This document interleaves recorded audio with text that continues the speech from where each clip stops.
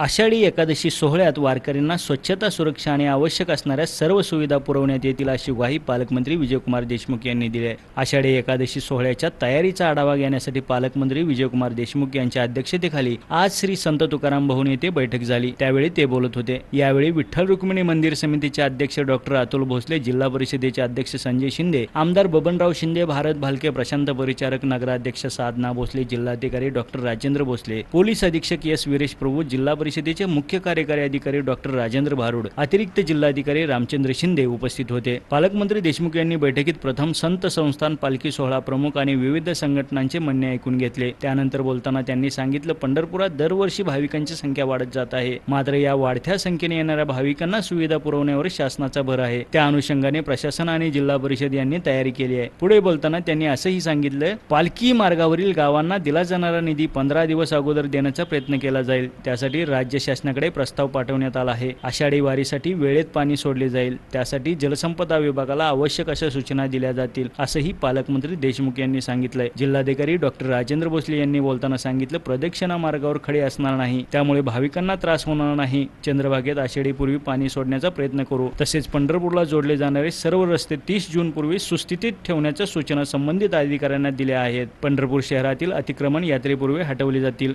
ग्रामपंचायतींना विशेष निधी देण्याचा प्रस्ताव पाठवण्यात आला आहे. त्याचा पाठपुरावा केला जाईल. पालखी विश्वस्तांनी मांडलेल्या मुद्द्यांबाबत सर्व संबंधितांशी चर्चा केली जाईल असंही जिल्हाधिकारी भोसले यांनी सांगितलं. यावेळी श्री संत ज्ञानेश्वर महाराज पालखी सोहळा प्रमुख विकास ढगे श्री संत तुकाराम महाराज पालखी सोहळा प्रमुख सुनील मोरे कार्यवाहक अभिजित मोरे श्री संत निवृत्तीनाथ महाराज पालखी सोहळा प्रमुख संजय नाना धोंडगे श्री संत सोपन काका पालखी सोहळा प्रमुख गोपाळ गोसावी यांनी आपल्या मागण्या आणि समस्या मांडल्या. यावेळी अन्नधान वितरण अधिकारी श्रीमंत पाटोळे उपविभागीय अधिकारी सचिन ढोले उपजिल्हाधिकारी मारुती बोरकर क्षमा ढोक पवार प्रमोद गायकवाड तहसीलदार रमा जोशी बाई माने उपकार्यकारी अधिकारी चंचल पाटील पंढरपूरचे मुख्याधिकारी अभिजित बापट जिल्हा शल्य चिकित्सक डॉक्टर सुमेध आंदूरकर महावितरणचे मधुकर पडळकर एस टी विभागाचे नियंत्रक रमाकांत गायकवाड आदींची उपस्थिती होती. मफतलाल कंपनीने सोलापुरात साकारलं युनिफॉर्मचं शानदार विश्व.